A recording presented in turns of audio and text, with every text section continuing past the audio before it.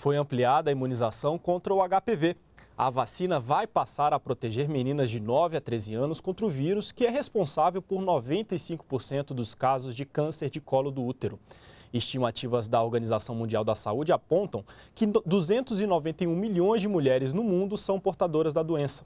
No Brasil, a cada ano, 685 mil pessoas são infectadas por algum tipo do vírus HPV o Ministério da Saúde incorporou a vacina contra HPV ao Sistema Único de Saúde. Meninas de 9 a 13 anos vão receber as três doses necessárias da vacina contra quatro tipos de vírus que são responsáveis por 70% dos casos de câncer. Nós vamos vacinar em 2014 todas as meninas com 11, 12 e 13 anos.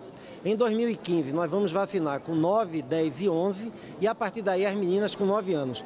Todas as meninas receberão a informação para levar a sua família, as famílias vão autorizar e a partir daí elas tomam a primeira dose seis meses depois a segunda dose e a terceira dose cinco anos depois. O Programa Nacional de Imunizações completa 40 anos. Criado em 1973, o programa representa uma importante política pública destinada à proteção da população brasileira contra doenças evitáveis. Nesses 40 anos, as ações de vacinação contribuíram de forma significativa para a erradicação nas áreas urbanas do país da febre amarela e da varíola. Outro resultado importante importante é que nos últimos 22 anos, nenhum caso de paralisia infantil foi registrado no país e, pelo menos nos últimos 10 anos, nenhum de sarampo. Além disso, de acordo com dados do Unicef, o Programa Brasileiro de Imunizações contribuiu para reduzir em 77% a mortalidade infantil no país. A taxa de mortalidade na infância caiu cerca de 77%